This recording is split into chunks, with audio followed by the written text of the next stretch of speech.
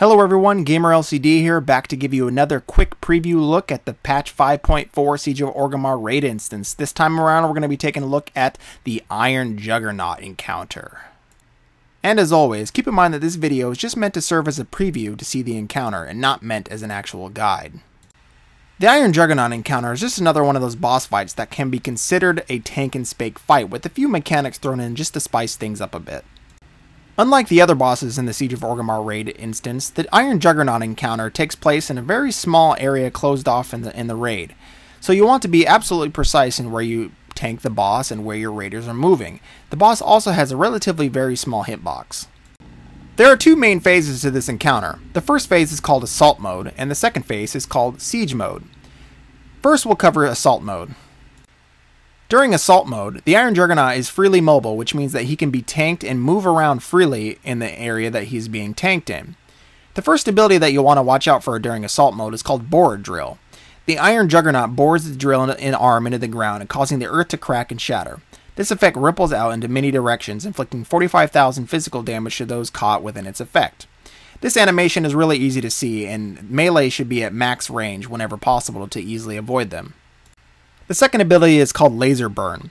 The Iron Juggernaut's tail can now focus briefly on random players, inflicts 250,000 fire damage to random players, and sears their flesh for an additional 55,000 fire damage every 2 seconds.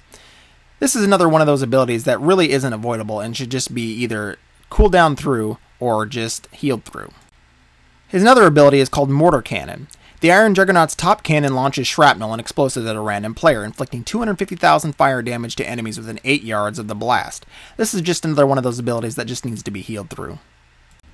One of the Iron Juggernaut's more important abilities during this phase is called Crawler Mines. The Iron Juggernaut releases several crawler mines that scurry in the direction of random players, burying themselves partially into the ground. Once they burrow, they begin a detonation sequence, and at the end of that sequence, they will detonate for 300,000 physical damage to everyone in the raid. A particularly brave player may stomp a burrowed mine into the ground, shifting the explosion by causing a localized detonation at their feet. This explosion inflicts 1.25 million physical damage and knocks the player high into the air.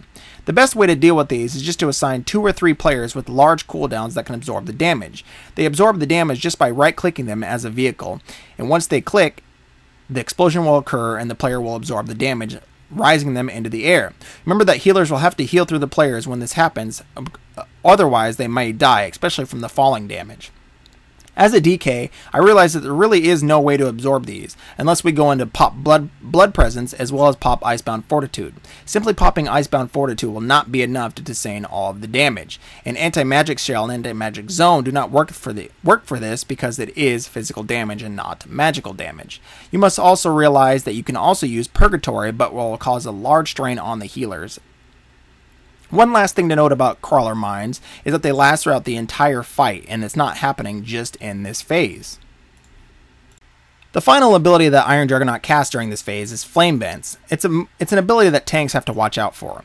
The Iron Juggernaut emits flame from its frontal vents, inflicting 300,000 fire damage in a frontal cone. This effect applies Ignite Armor, which increases damage taken by fire effects by 10% and sears the target's flesh for an additional 20,000 every second. This effect does stack, which means you will need to use a second tank for a tank switch.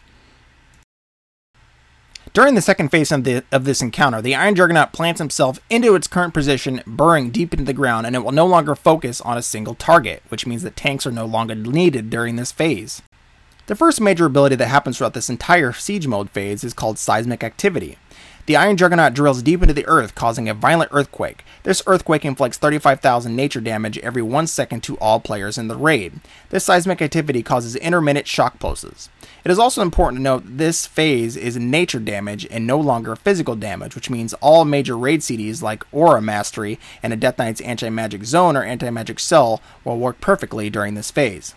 The next part of seismic activity is called shock pulse. Shock pulse causes a wave that forces knockbacks players back significantly, which means that you'll want to tank the boss near an area where you won't be knocked back as far as, far as possible. The next ability in this phase is called the Demolisher Cannons. The shoulder mounted turrets of the Iron Juggernaut fire high into the sky over random players, inflicting 150,000 fire damage to players within 6 yards of each blast. Cutter laser also happens during this phase, except it acts a little differently than it did before. Iron Juggernaut's tail cannon now traces the ground as it chases each target. The laser inflicts 200,000 fire damage every one second to players the, who come in ta- contact with it. It is also important to note that during this phase that there's a new ability called Explosive Tar.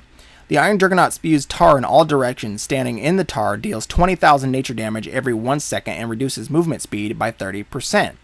If a tar puddle comes, in, comes into contact with the flames of the cutter laser, the puddle will explode, inflicting 200,000 fire damage to all players.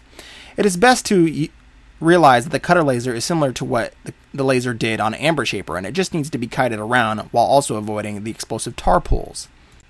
This fight is actually a really simple tank and spank fight, with a couple of interesting mechanics thrown in. Once your raid figures out how to handle the first and second phases, it's actually just a rinse and repeat until the boss dies. There are no extra burn phases or any special mechanics at the end of the fight. I hope you guys enjoyed this short preview of the Iron Juggernaut encounter. My name is Gamer LCD, and for more PTR raid tests, go ahead and check out the rest of my channel. See you guys next time.